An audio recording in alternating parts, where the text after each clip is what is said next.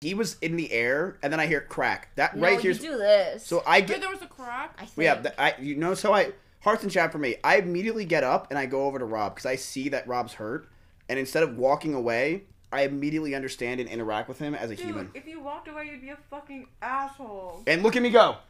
Does this not show the real Miz right here? Extra Emily turning away because she can't fucking handle what it's like in the real world. Meanwhile, I'm there supporting Rob the entire time. You can see my gut. Yeah, I heard it. It was pretty fucking bad. Um, all in all, Wait, do you know I'm the like- verdict? Like what ha- actually happened?